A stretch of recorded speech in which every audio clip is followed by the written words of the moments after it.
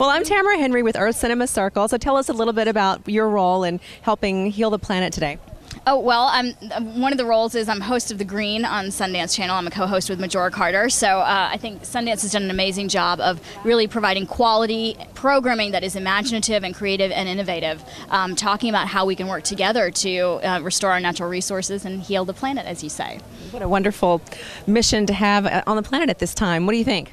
Well, I can tell you that when we made the decision to do this, and Redford is deeply involved in it because of his 35 year history in this space, we wanted to do it with presenters that were not just talking heads, but, but people who had credible, meaningful records in this space. And we're so proud and I say that on behalf of Redford and NBC Universal and CBS to have this woman on our air, and uh, and uh, I'm just thrilled to be her guest today. Oh shucks, thank you. I love. Well, we look forward to seeing more of you. Thing, and I don't want this can make it on the air. I'm her bitch.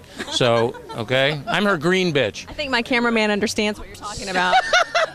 Well, listen, we look forward to seeing more of you, and I wondered if you'd give a quick shout out to Earth Cinema Circle. Oh, sure. Hi, I'm Simran Sethi, and you're watching Earth Cinema Circle. Need to stand up for you, Larry. There you go. You're not. I'm Larry Aidem, and I'm watching Simran Sethi watch Earth Cinema Earth Circle. Cinema Circle. Okay. Larry Aidem from Sundance Channel, and it was very nice to meet you guys. Take care. You guys have fun in there.